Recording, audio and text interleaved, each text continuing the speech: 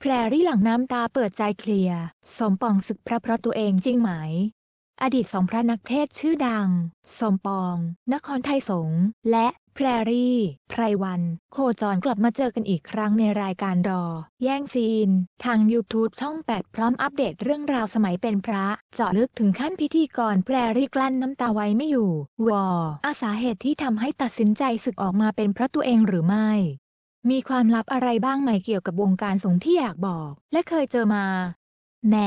คุณก็รู้อยู่นี่ เกี่ยวกับเรื่องภายในพวกตำแหน่งอะไรแบบนี้ ก็คือตำแหน่งที่ควรขึ้น เขาก็มีดวง มีเด็ก มีวิ่งมีเงินนะมีไหมหรือเปล่าหัวเราะ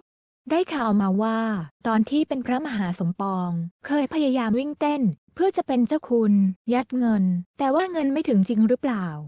ไม่จริงครับผม แต่ใกล้เคียง คือมีคนมาติดต่อถามว่าสมปองอยากเป็นหรือเปล่า ผมก็ถามว่าหน้าตาอย่างผมจะเป็นได้หรือครับ บุคลิก สนุกสนาน เฮฮาขนาดนี้ จะเป็นเจ้าคุณหรอครับ เขาบอกเป็นได้ ก็เลยไปเรียนหลวงปู่เจ้าอาวาสว่า หลวงปู่มีคนมาให้ผมเป็นเจ้าคุณครับ หลวงปู่สวนประโยคแรกเลย ใครจะให้มึงเป็นหัวเราะ แต่ว่าต้องเป็นผู้ช่วยเจ้าอาวาสก่อน จะไปสมัครผู้ช่วยเจ้าอาวาสเกือบแล้ว แต่ทีนี้ก็ได้ไปคุยกับท่านเจ้าคุณท่านหนึ่งอาจารย์เรานั้นแหละ ท่านก็บอกว่าเหนื่อยนะ เหนื่อยมากเลย เวลาใครเชิญไปที่ไหนก็ต้องไป ปฏิเสธไม่ได้ เราก็แบบโหภารกิจเยอะจัง ทำไมมันหนักขึ้นขนาดนั้น ก็เลยไม่สมัครผู้ช่วยเจ้าอาวาส ก็เลยไม่ได้เจ้าคุณ 30 ปีที่เป็นพระ ทำงานรับใช้พระพุทธศาสนา ได้อะไรบ้างนอกจากเสาธรรมจักรอันเดียว หมายถึงเกียรติคุณจากองค์กรศาสนา น่าจะมีเสาเสงมาธรรมจักรแหละ ที่เหลือก็จะเป็นมหาวิทยาลัยครับ แล้วก็ปทุมธานี ราชพัชยภูมิให้ดุษฎีกิตติมศักดิ์ได้มาบ้างครับ มีคนเมาตอนเป็นพระเทศเก็บเงินได้เป็นหนึ่งร้อยล้านนี่สินหรือเปล่าหัวเราะไม่มี และก็ไม่รู้มันไปไหนนะ อาจเป็นเพราะเราบวรกับบ้าน วัด โรงเรียน แล้วก็ไปช่วยชุมชนที่บ้าน และส่วนมากจะเน้นหนักโรงเรียน ตอนนั้นที่มีภาพว่าเราเข้าไปอะไรอยู่ในสนามบอล เพราะตอนนั้นเราสนับสนุนเยาวชน เพราะว่าคนไม่ค่อยเข้าใจ ใช่ครับ มีทีมฟุตบอลด้วย